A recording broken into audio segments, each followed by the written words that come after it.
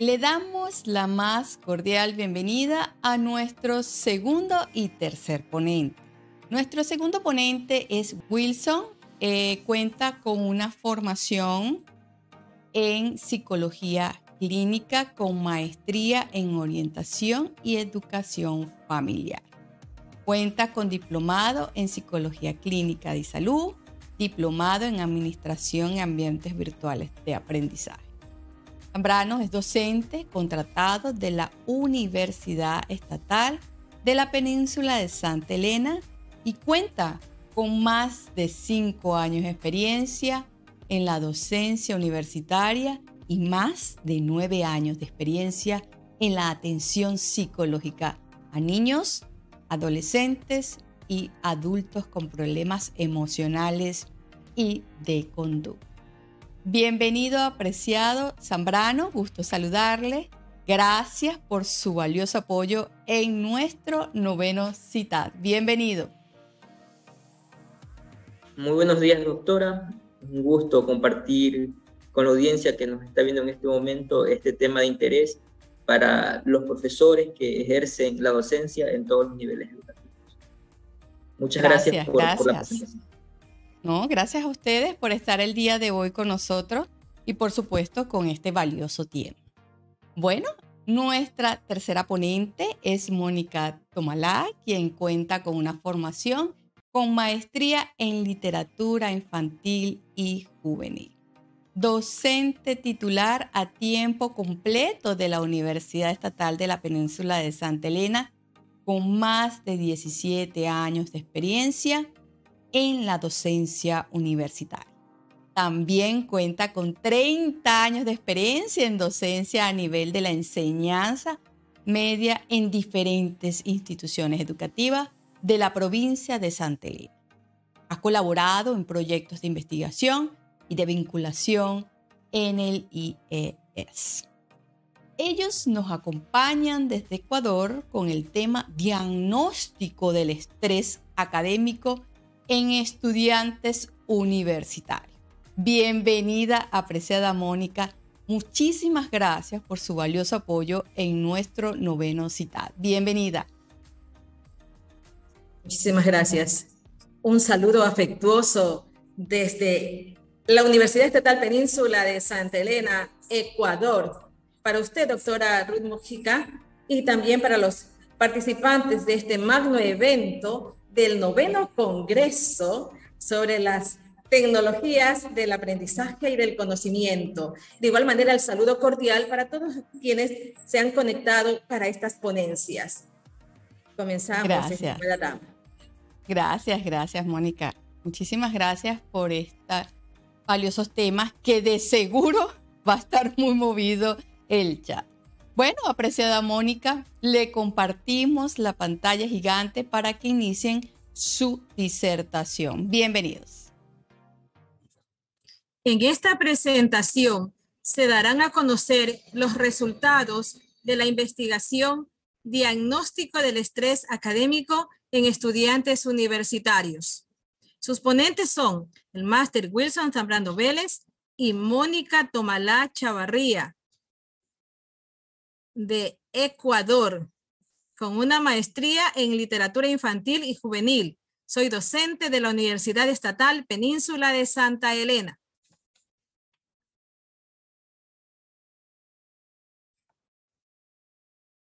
Parecería una exageración catalogar al estrés como uno de los grandes males de los últimos tiempos. Claro está, después del cáncer, del SIDA, de la misma pandemia COVID-19 que estamos viviendo.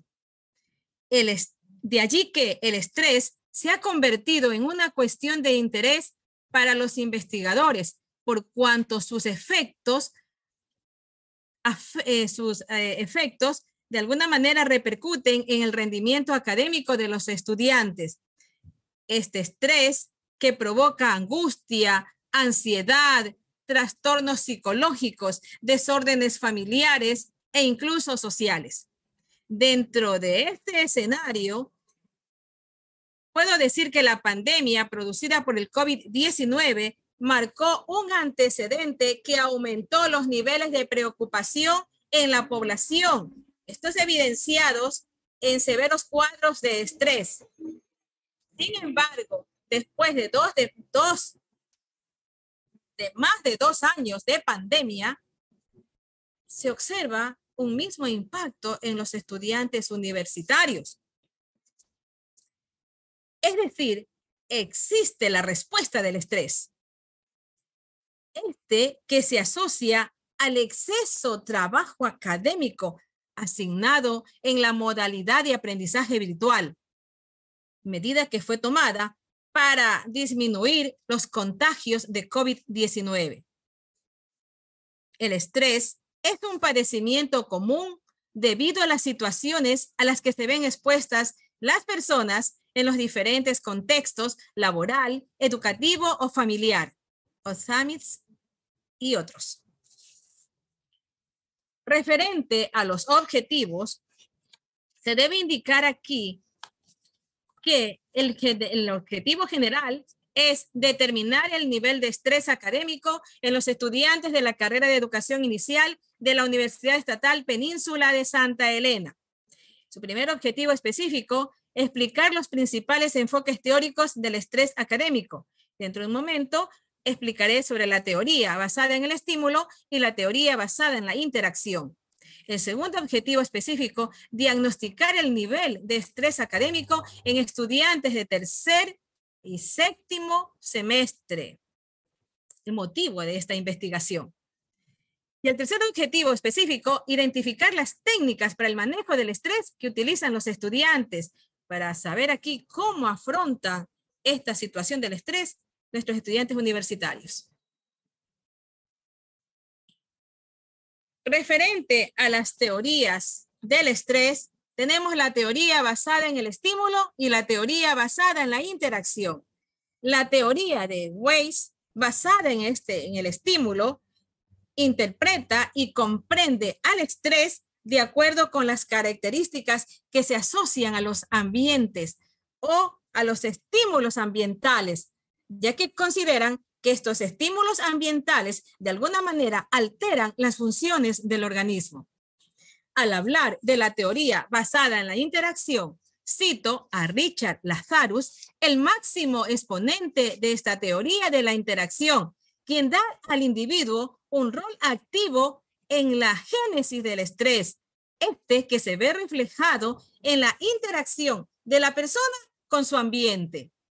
Sin embargo, el grado de estrés experimentado no depende solamente del entorno, sino además de sus características personales como la percepción de control y de autoestima. Referente al estrés, al estrés académico, debo indicar en qué consiste el estrés académico. Pues este es la reacción que adquieren los estudiantes ante las diferentes y múltiples actividades diarias dentro de su proceso educativo, tales como el exceso de trabajo, la presentación de tareas, entre otros. Esto genera de alguna manera o de muchas maneras un escenario angustiante y a veces también ocasiona eh, reacciones como el agotamiento físico, la ansiedad, el insomnio, el mismo bajo nivel de rendimiento académico y la deserción educativa. Claro que sí, el estrés académico trae consigo efectos físicos, psicológicos y emocionales en los estudiantes, por supuesto.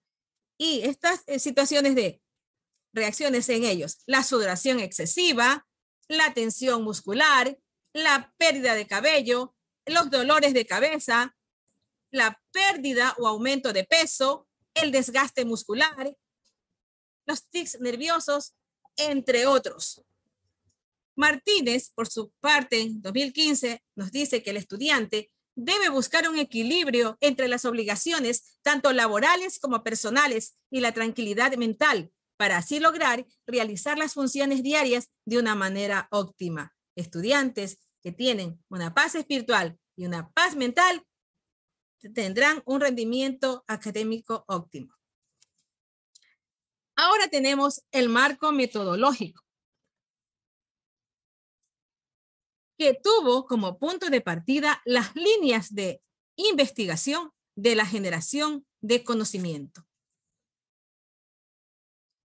¿Cuál fue su paradigma? El positivista, cuyo objetivo es una concepción científica del mundo, apostando por la capacidad de la lógica matemática, del experimento y de la observación.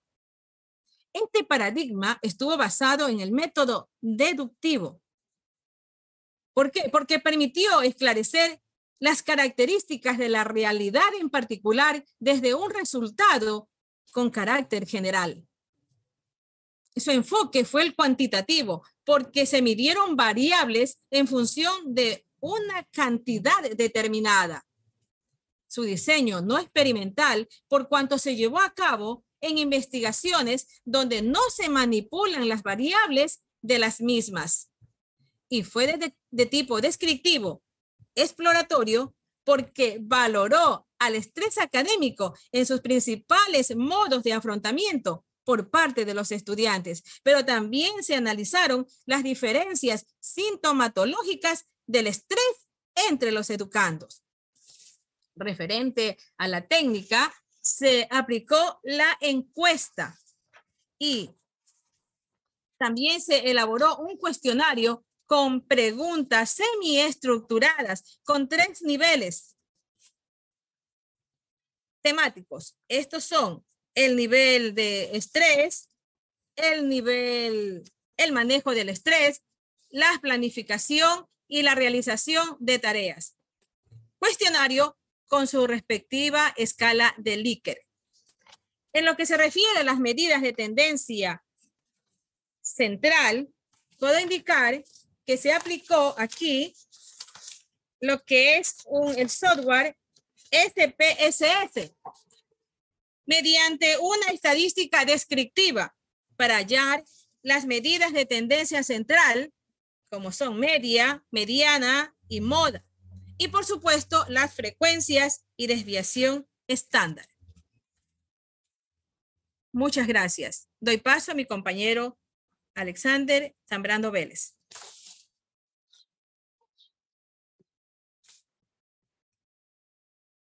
Bien, como ya mencionó la compañera Mónica. Mi nombre es Wilson Zambrano Vélez, soy de Ecuador.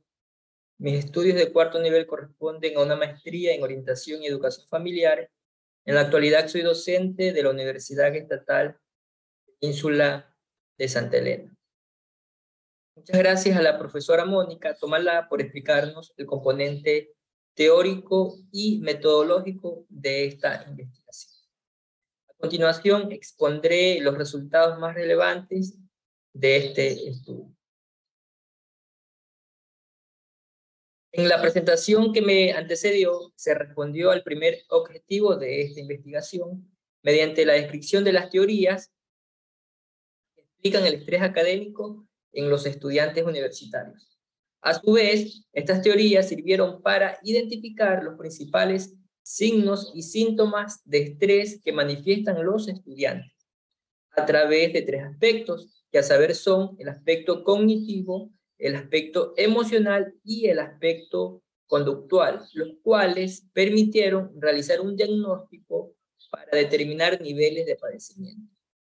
De allí que en la tabla 1 que se está mostrando se precisen tres rangos. El rango débil, el rango intermedio y el rango alto.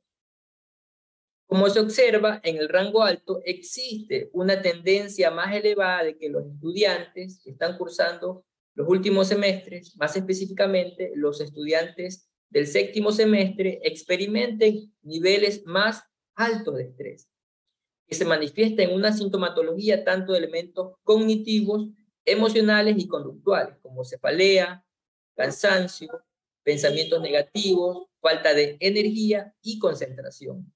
Esto se debe principalmente a las múltiples actividades que realizan los estudiantes en sus actividades académicas.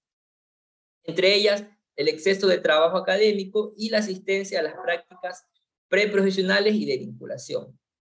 Esta tendencia se encuentra en menor grado en los estudiantes del tercer semestre, debido a que las actividades que realizan no se vinculan todavía escenarios prácticos, donde los estudiantes aterrizan las competencias adquiridas en los salones de clase. En cuanto a los rangos intermedio y débil, existe una tendencia alta en ambos semestres. Sin embargo, las características de este, este tipo de estrés se las podría considerar como positivo, debido a que le permite al estudiante resolver problemas académicos de forma oportuna. En el rango débil, no existen diferencias cuantitativas, pues son estudiantes que tratan de cumplir con las actividades académicas en los tiempos establecidos, por lo que no generan estados de preocupación y estrés. En cuanto al rango alto descrito anteriormente, se corresponde con lo mencionado por Barraza en el 2016, al afirmar que un elevado nivel de estrés implica que los estudiantes presentan síntomas físicos psicológicos como lo son la fatiga, el insomnio, la inquietud, la variación en los niveles de ansiedad, los problemas de concentración y el bloqueo mental. Esto debido a factores como la sobrecarga de tareas, tiempo limitado para realizar los trabajos académicos y la falta de una planificación adecuada. En la tabla 2 se observa que existe en el rango alto una tendencia mayor en los estudiantes del séptimo semestre para manejar el estrés. Esto se debe principalmente a que ya han pasado por un proceso educativo y han, aprendido a manejar. En cuanto a los demás rangos, estos se corresponden con la tabla anterior. A menor grado de estrés, la necesidad de implementar estrategias se reduce. Es por ello que Barras en el, 2002, en el 2008 afirma, ante la presencia de estresores, el estudiante muestra desequilibrio sistémico y este se ve forzado a investigar estrategias con las que pueda defenderse y tomar control del estrés. En la tabla 3 no se observan diferencias significativas, es decir, tanto los estudiantes de tercero y de séptimo semestre organizan y planifican su tiempo para cumplir con los trabajos académicos. Sin embargo, es claro que el nivel de complejidad de las actividades escolares es mayor en los estudiantes del séptimo semestre. Debido a eso, son más vulnerables para expresar mayor preocupación y estrés. Al respecto, Pérez Villalobos en el 2011 manifiesta que realizar un plan de acción para el estudio es en sí mismo una estrategia que aborda tanto la disposición al aprendizaje como la elaboración de objetivos y metas junto a la gestión de los tiempos y recursos necesarios.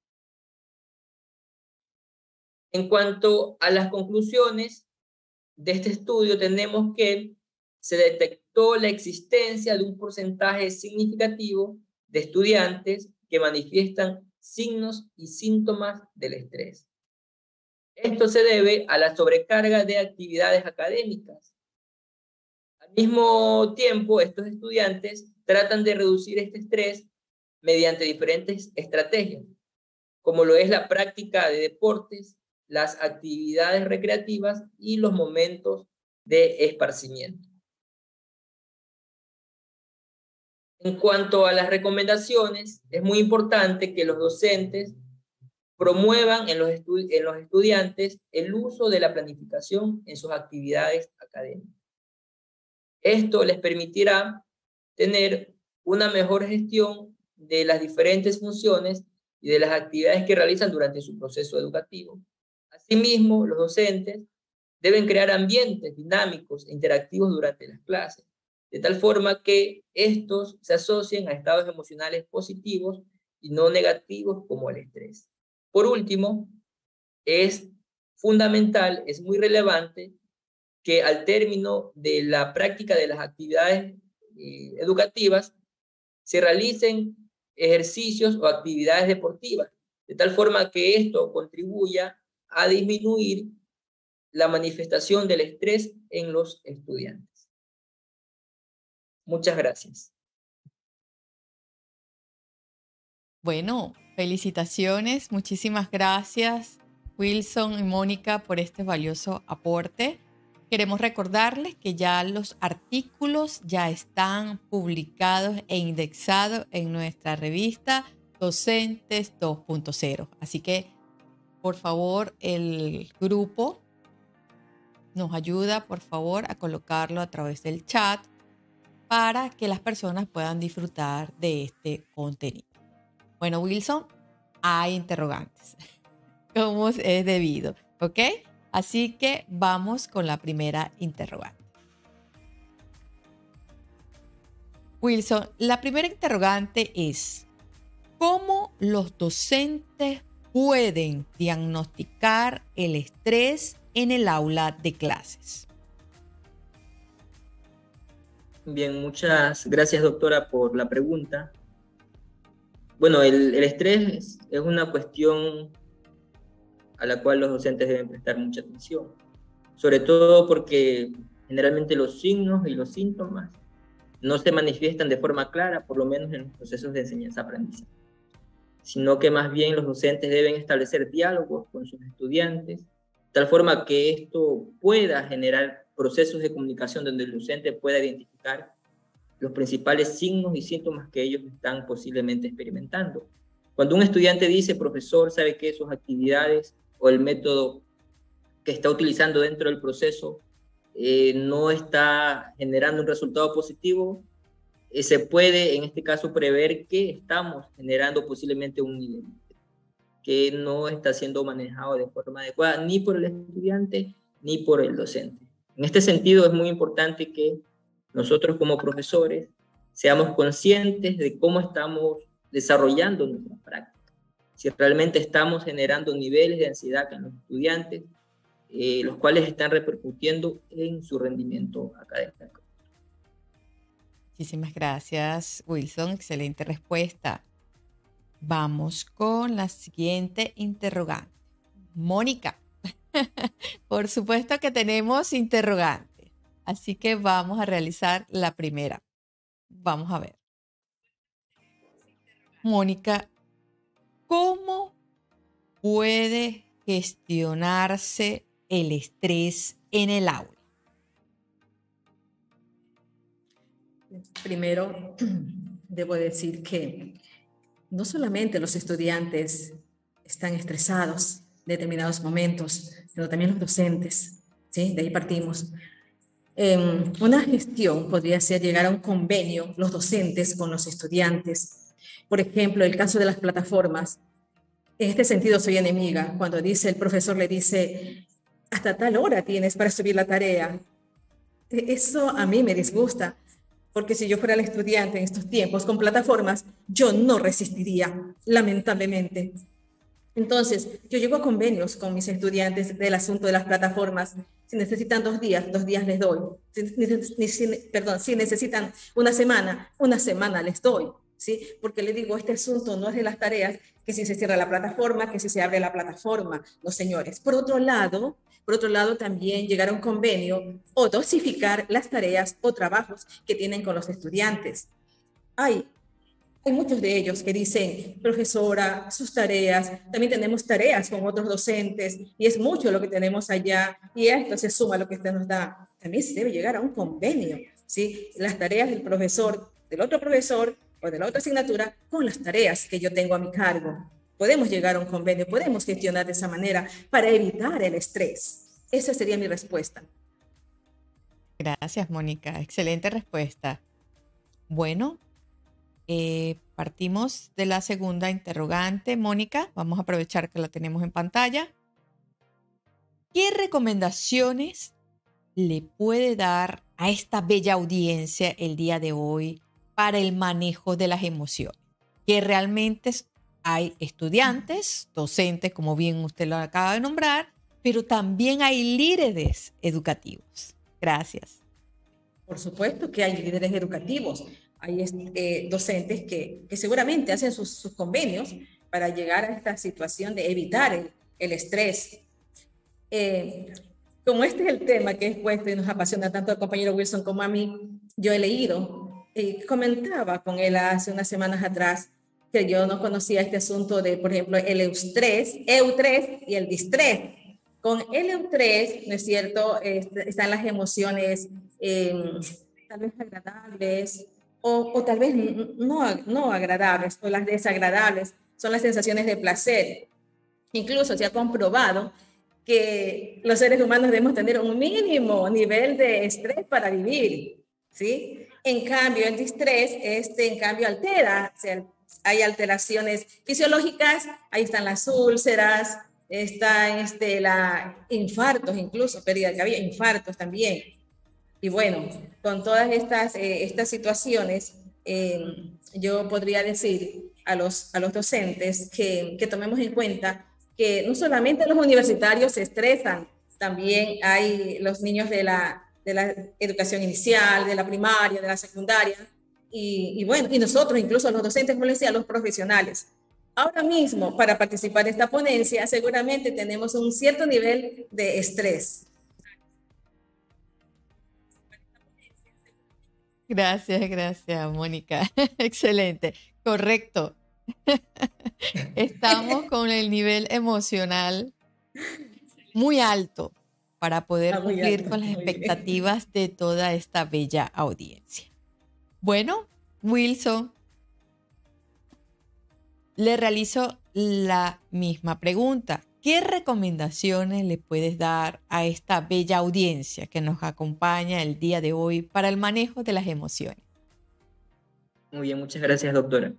Como primera recomendación es que nosotros como profesores debemos ser muy conscientes de cómo están nuestros estados emocionales. Es decir, si no sabemos posiblemente identificar el enojo, la tristeza, la ira, muy difícilmente podremos gestionar estas emociones en estudiantes.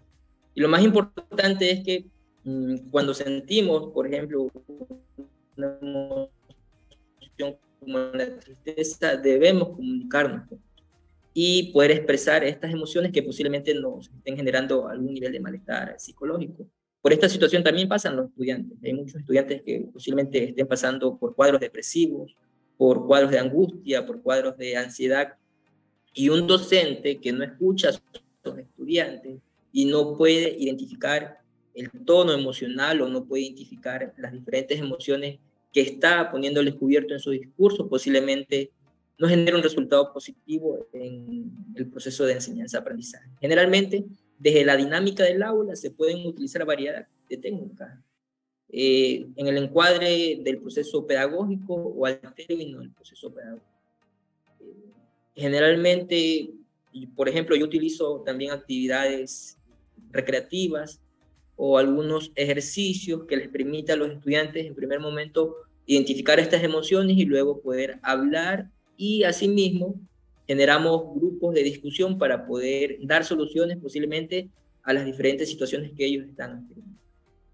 Pero lo más importante de esto es ser consciente de nuestras emociones para nosotros poder ayudar también a doctora. Es, Muchísimas gracias por esta valiosa disertación e investigación que de seguro será un, un pilar para seguir eh, o continuar este tipo de investigaciones que por supuesto pueden estar incluidos en todos los ámbitos a nivel internacional. Bueno, Wilson, por cuestiones de tiempo, le compartimos la pantalla gigante para que se despida de nuestra audiencia. Muchísimas gracias. Muchas gracias, doctora. Pude ver otra pregunta. No sé si me da un minuto para responderla. Sí, sí, con gusto, con gusto. Si desea, con gusto. Ya. Mm, Cita Luz eh, nos pregunta cómo mediar el estrés de los estudiantes y la necesidad de cumplir con los programas educativos. Bueno, eso es lo que realmente sucedió durante el inicio de la pandemia, por lo menos en la Universidad Estatal Península de Santa Elena. Eh, con el propósito de cumplir este programa, el programa educativo, creo que los docentes, como estábamos recién incursionando en el tema de, de las tecnologías, no supimos gestionar o dosificar adecuadamente las diferentes actividades que estaban programadas en, el programa de estudio, sobre todo porque realmente esto de la pandemia nos cogió desprevenidos. Todos estábamos eh, en, en, ese momento eh, planificando cómo íbamos a aprender a través de la virtualidad, cómo nuestros estudiantes, y realmente no supimos gestionar o dosificar las actividades y tampoco supimos, por lo menos durante el inicio, cómo eh, gestionar también las emociones de los estudiantes. Entonces, eh, de esa situación surge justamente este estudio que presentamos en este momento. Ahora, desde mi experiencia, creo que es muy importante trabajar con la parte humana, con la parte de las emociones y sobre todo eh, dosificar o planificar de manera correcta los diferentes contenidos que están en los programas de estudio, sin que necesariamente esto afecte el estado de, emocional o de salud de los estudiantes. Muchas gracias, doctora. Un placer y un gusto haber compartido este tema con ustedes. A ustedes, excelente tema.